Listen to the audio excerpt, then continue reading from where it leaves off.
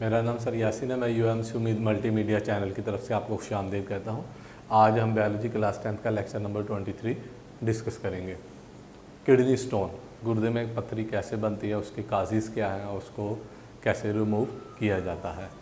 Become concentrated the crystals of the salt um, present in the um, kidney are called the kidney stone जब urine concentrated हो जाए, यानी कम पानी पिया जाए यूरिन गाढ़ा हो जाए तो सूरत हाल में हमारे गुर्दे में साल्ट इकट्ठे हो जाते हैं, जैसा कि आप देख रहे हैं। ये किडनी के अंदर साल्ट्स जो है वो कंसनट्रेट हो, गाढ़े हो जाते हैं। वो इकट्ठे होते होते स्टोन पत्थर जो है वो बन जाते हैं। किडनी स्टोन जो है वो, जिसे हम पथरी भी कहते हैं। उसमें कैल्शियम ऑक्सीलेट शामिल है। कैल्शियम है अमोनियम फास्फेट और यूरिक एसिड ब्लड में यूरिक एसिड ज़्यादा हो जाए, तब भी चांसेस हो जाते हैं किडनी स्टोन के।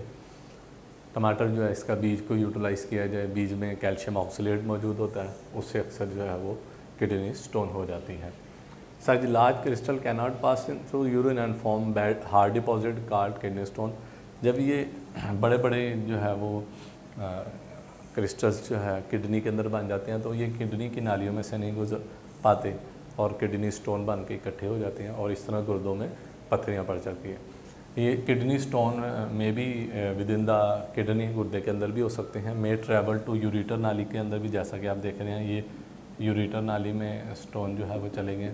या दिस स्टोन में भी यूरिनरी ब्लेडर मसाने के अंदर भी गुर्दी पथरी जो है वो, जैसा कि आप फिगर के अंदर ये देख रहे हैं।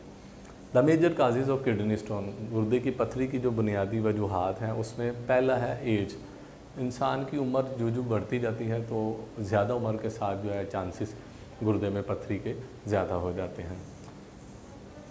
डाइट खाने का बड़ा अहम असर है गुर्दे की पथरियों के अंदर। अक्सर वो लोग जो ज़्यादा सब्ज़ियाँ इस्तेमाल करते हैं मोर ग्रीन वेजिटेबल्स यूज़ करते हैं तो उन लोगों के अंदर जो है वो पथरी के चांसेस भी ज़्यादा हो जाते हैं। सॉल्ट्स जो लोग साल्ट्स ज़्यादा इस्तेमाल करते हैं उनमें भी पथरी के चांसेस जो है वो ज़्यादा हो जाते हैं। इसके अलावा बाद लोग टेबलेट्स यूज़ करते हैं विटामिन सी और डी की। डेली इस्तेमाल करते रहते हैं। बग़ैर वजह के वैसे उन्हें डॉक्टर की कंसल्टेशन के बगैर ही विटामिन सी की टेबलेट यूज़ कर ली।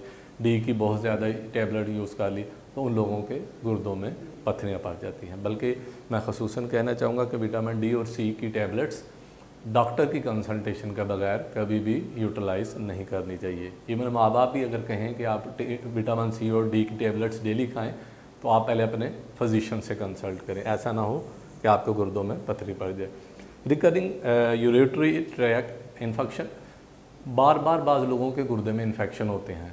ज़ख़म होते हैं बार बार तो अगर बार बार ज़ख़म हो जाए तो तब भी पॉसिबिलिटी है कि हो सकता है उनमें बाद में गुर्दों में पथरी पड़ जाए।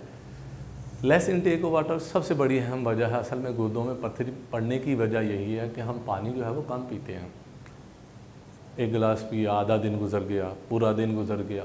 तो यानी थोड़ा पानी पानी की तरफ़ हमारी कंसनट्रेशन बहुत कम होती है। जो हमें चाहिए, हर डेढ़ दो घंटे के अंदर अंदर एक गिलास पानी का लाजमी पी लेना चाहिए, ताकि हमारा खून कंसनट्रेट रहा हो, खून डाइल्यूट रहे।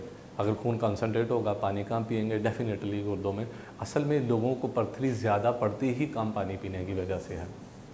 अल्कोहलिक कम कंजप्शन ये भी एक वजह है। वो लोग जो पानी की जगह पर अल्कोहल बहुत ज़्यादा यूज़ करते हैं, शराब यूज़ करते हैं, उन लोगों के गुर्दों में भी पथरी पड़ने के चांसेस ज़्यादा होते हैं, बल्कि ऐसे लोगों के गुर्दे जल्दी फेल हो जाते हैं। फेलियर भी इन लोगों में आ जाता है। सिम्टम्स गुर्दे में पथरी पड़ जाए तो उसकी अलामत क्या होती है, पता कैसे लगता है? सवियर पेन किडनी असल में बैक साइड पर किडनी से यूँ इस तरफ़ पेन आती है। तो गुर्दे में शदीद दर्द होती है या लोअर बैड पेट के निचले हिस्से में जहाँ गुर्दे मौजूद होते हैं। अक्सर ये होता है किडनी में स्टोन आ जाए तो वॉमिटिंग बार बार आती है, उल्टियाँ बार बार आना शुरू हो जाती हैं। फ्रीक्वेंट यूरिनेशन बार बार यूरिन आता है, सारा दिन यूरिन आ रहा है, रात को भी तीन चार दफ़ा उठ के यूरिन करना पड़ रहा है।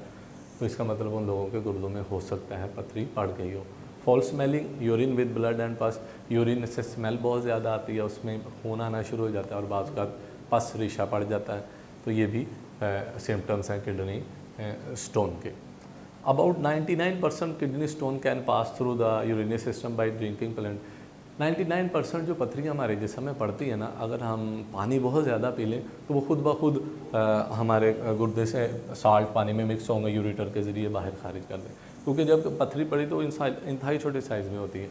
अगर बहुत ज़्यादा पानी शुरू कर देंगे पीना तो ऑटोमेटिकली वो डल्यूट हो जाएगा साल्ट पानी में डिज़ोल्व होकर जिसम से बाहर एक्सक्यूज यानी पहली पॉसिबिलिटी ये है कि अगर किडनी की हल हल्की सी स्टोन किडनी में है तो प्लेंटी ऑफ़ वाटर यूज़ करेंगे।